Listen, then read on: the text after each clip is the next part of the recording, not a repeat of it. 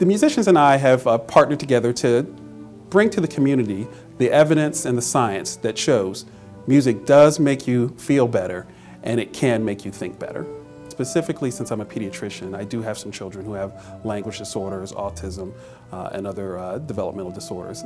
And the evidence clearly shows that having those children play an instrument or learn to play an instrument has some benefits on reading, cognitive development.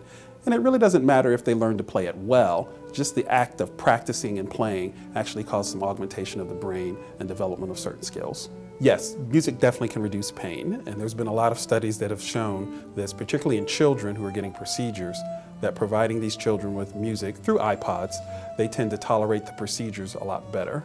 The music definitely has a calming effect on uh, family members as they're waiting for loved ones. And also, it's been found that it has a calming effect on surgeons in the operating room.